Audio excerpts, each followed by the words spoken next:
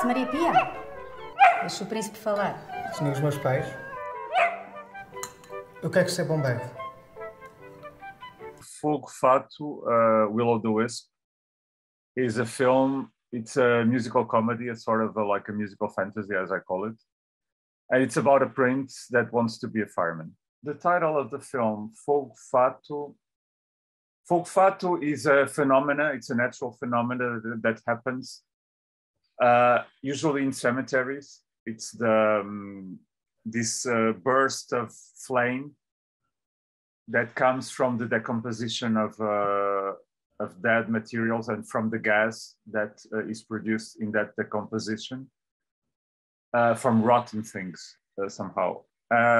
and it's also something that throughout the ages, because it was people didn't understand what it was, Uh, thought it was supernatural uh, and like a, a, fantastic phenomena or a scary phenomena. And it's also something that is very quick. It, it happens and then it goes away. The film is not very long. It's only seven, 67 minutes. So, and it comes and goes away fast. And I thought, well, it's a, it's a story of with firemen. Uh, so I thought it was a good title and quite quite a mysterious one for the film. It's a film with music and also because the film is not only a comedy, like the the the genre, it's usually called a, a musical comedy, and but the film is a comedy, but it's also a bit science fiction, and so I like the I, this idea of fantasy that uh, is uh, perhaps a non-existent genre, or at least on film. But uh, I think it describes quite well the the tone of the film. Now, those songs were already existed. All songs were pre-existent to the film. That song is from the 80s. It was a song made.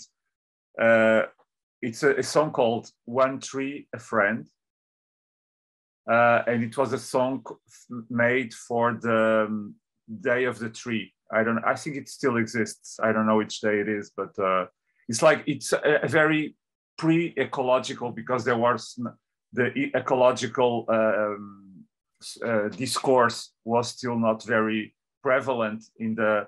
But it was a way of um, make children attentive to the ecological problems and to the and to the trees in a very naive way, some sort of because it was it was for children.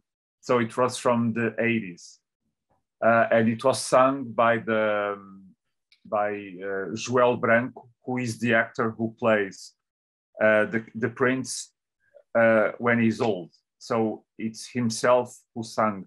He was mainly a singer from the 80s, 90s, also an actor, but from like popular theater mostly and TV and uh, but it's him who sang the, the song in the 80s originally. Para aparecer nas revistas. Não, senhor comandante. Um príncipe, bombeiro.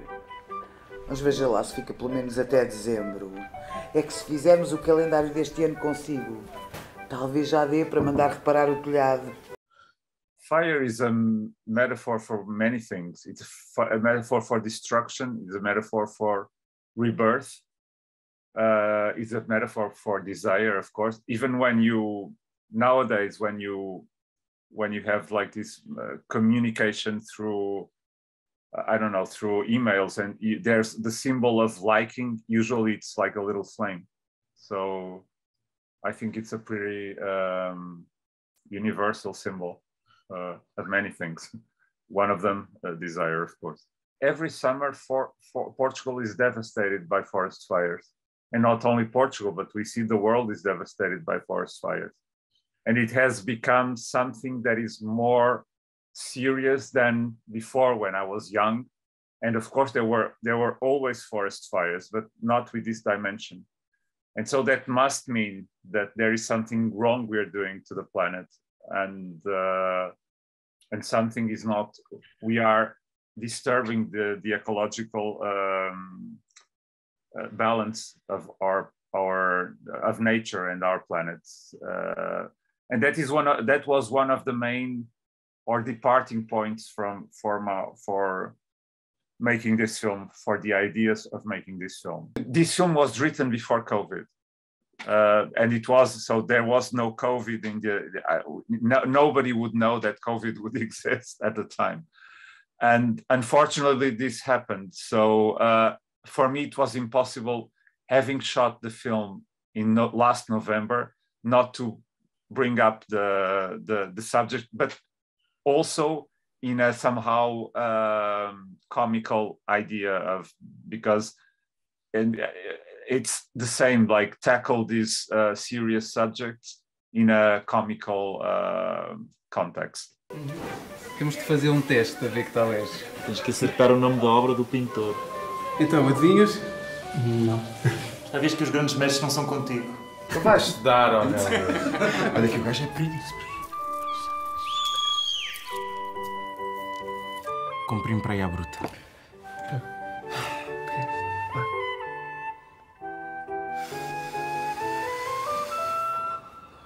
Bandido, que me empregaste.